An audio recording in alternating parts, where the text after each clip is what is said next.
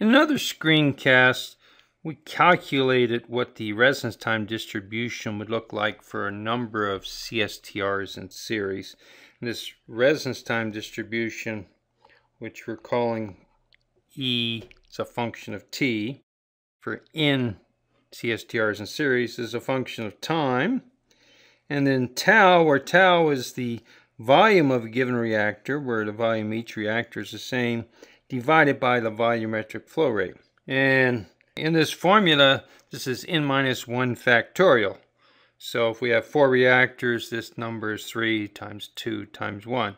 So the question would be, what's this look like if we have a detector at the end of this last reactor and we were doing a tracer pulse injection? This formula tells us the behavior, which is what the residence time distribution is. So let's look at, at what that behavior is and how it changes if we change the number of reactors.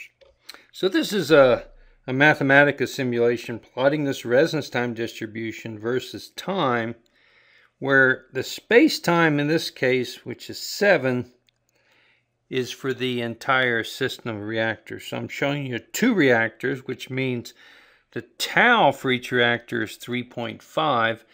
And, and so what we're going to do is see as we change the number of reactors, but the total residence time for the system doesn't change.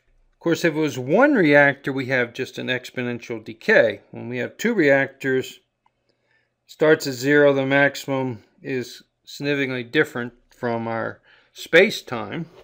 And then as we increase the number of reactors, you'll notice what happens is this starts to get closer to the space-time where the maximum occurs and the peak gets narrower. So so notice the scale is changing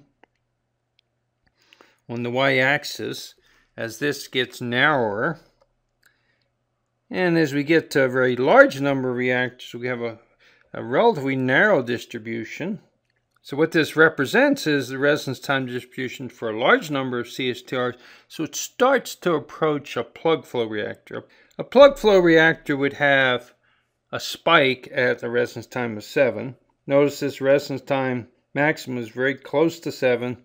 And so a large number of CSTRs can be used to model a plug flow reactor.